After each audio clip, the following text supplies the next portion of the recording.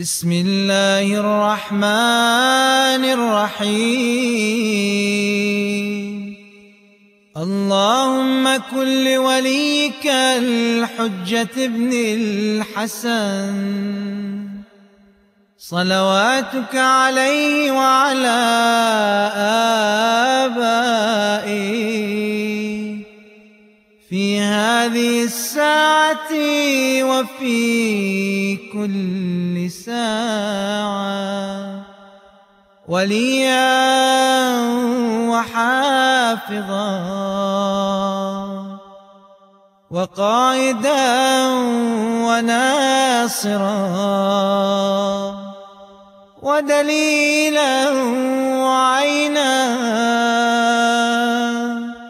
حتى تسكنه أرضك طوعا وتمتعه فيها طويلا